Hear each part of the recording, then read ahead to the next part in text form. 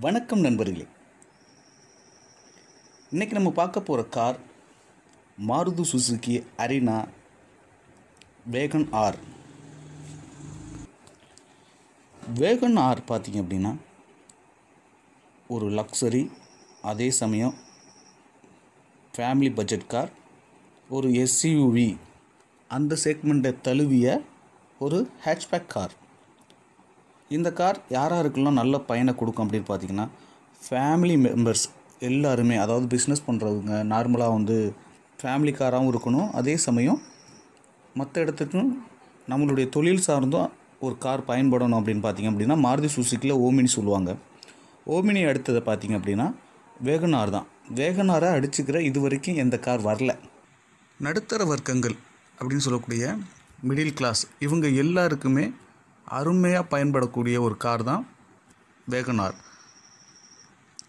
இதே ப்ரைஸில் இதே செக்மெண்ட்டில் அதாவது ஹேட்ச்பேக்கில் ஒரு அஞ்சு லட்சத்துலேருந்து ஒரு ஏழு லட்சம் ரூபாயில் அந்த ரேஞ்சில் நீங்கள் பார்த்தீங்க அப்படின்னா நிறைய கார்ஸ் நானே ரிவ்யூ பண்ணியிருக்கேன்.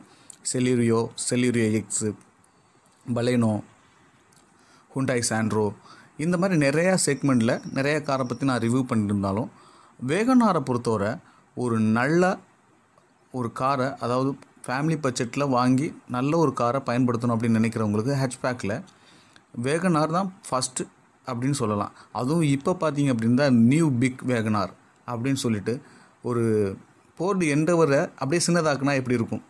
அந்த சைஸில் போட்டிருக்காங்க. பார்க்கவே ரொம்ப அட்ராக்டிவாகவும் இருக்குது அதாவது இது வந்து கார் வந்து ஷோரூம் அப்படிங்கிற கண்டிஷன்லேயே தான் வச்சுருக்காங்க. இதுக்கு எக்ஸ்ட்ரா ஃபிட்டிங் ஐட்டம் பார்த்தீங்க அப்படின்னா கிட்டத்தட்ட ஒரு நாலு லட்ச ரூபா வரைக்கும் இருக்கும்னு நினைக்கிறேன்.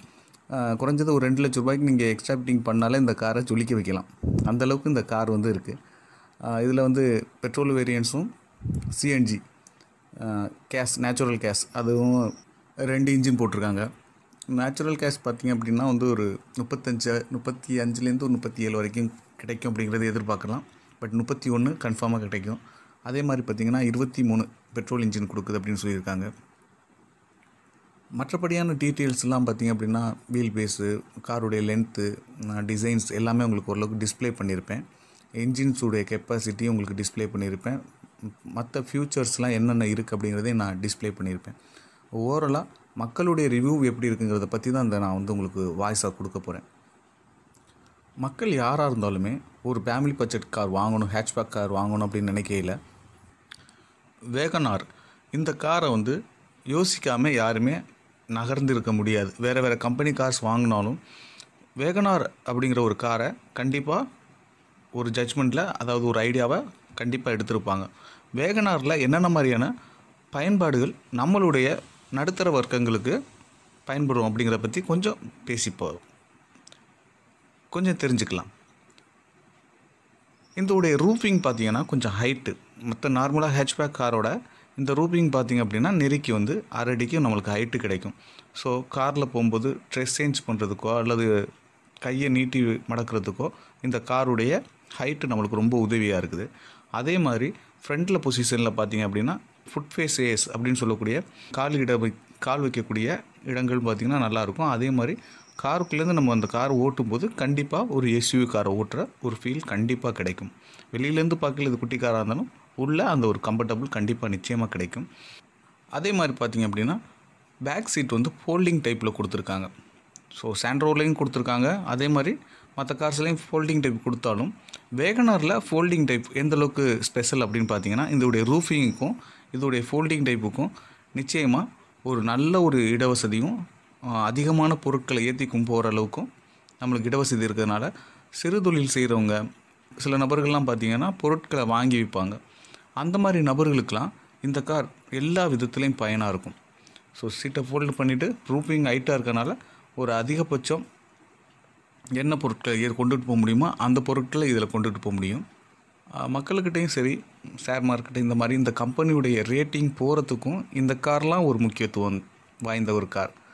வேகனார்லாம் மாருதி சுசுக்கியில் வந்து லான்ச் ஆகலை அப்படின்னா கண்டிப்பாக மிகப்பெரிய ஃப்ளாப்பில் இருக்கும். மற்ற கம்பெனிகள்லாம் இந்த மாதிரி ஒரு கார் வந்து வரல அப்படிங்கிறது ஒரு ட்ராபேக்னு சொல்லலாம். ஒவ்வொருத்தவங்களுக்கும் ஒரு லைஃப் ஸ்டைல் இருக்கும். அந்த ஸ்டைல் தான் ஒவ்வொரு கம்பெனியுடைய ரூல்ஸு ஸோ மாருதி சுசுக்கியில் பொறுத்தவரை நீங்கள் எந்த கார் வாங்கணும்னாலும் கண்ணை முடிக்க வாங்கலாம். நீங்கள் எந்த கார் வாங்க போகிறீங்க தான் செடன்ஸில் வாங்க போகிறீங்களா ஹேட்ச்பேக்கில் வாங்க போகிறீங்களா எஸ்யூவில் வாங்க போகிறீங்களா இதை தான் நம்ம யோசிக்கணுமே தவிர எந்த கார்லாம் வாங்கினா நல்லாயிருக்கும் அப்படின்னு யோசிக்கவே தேவையில்லை. ஏன்னா ஹேட்ச்பேக்கில் மேக்ஸிமம் எல்லாமே ஒரே வகையான இன்ஜின்ஸ் தான் கொடுத்துருப்பாங்க. அதே மாதிரி பெட்ரோல் வேரியன்ஸும் ஜிஎன்சி வேரியன்ஸும் தான் கொடுத்துருப்பாங்க.